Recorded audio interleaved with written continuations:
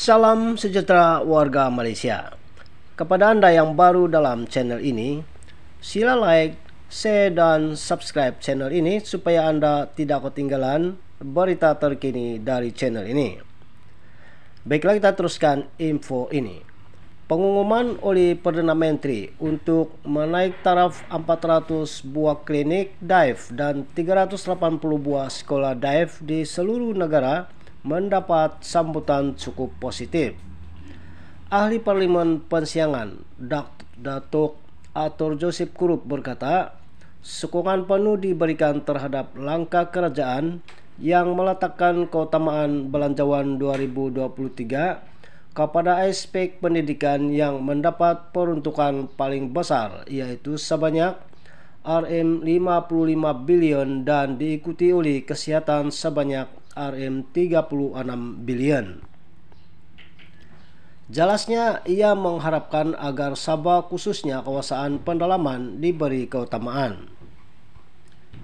Justru saya berharap agar Sabah khususnya kawasan pendalaman seperti Parlimen Pensiangan akan diberi keutamaan dan dipercepatkan pelaksanaannya untuk menyelesaikan masalah kemudahan kesehatan dan pendidikan yang dalam keadaan dive, katanya dalam satu kenyataan media di sini hari ini.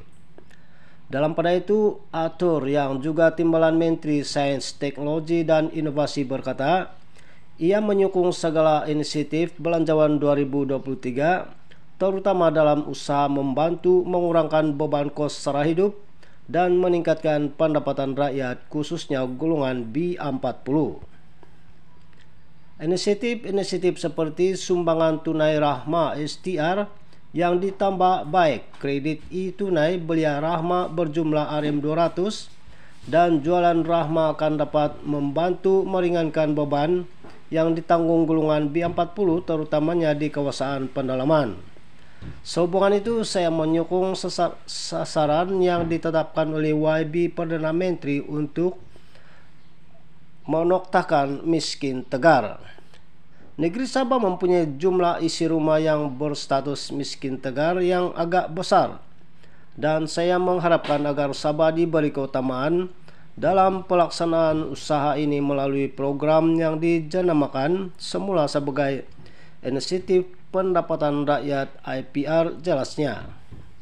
Selain itu, peruntukan RM1 bilion untuk membangunkan kawasan bersampadanan seperti Kalimantan, Indonesia termasuk pensiangan akan memberi limpahan ekonomi hasil daripada pemindahan ibu kota Indonesia ke Kalimantan.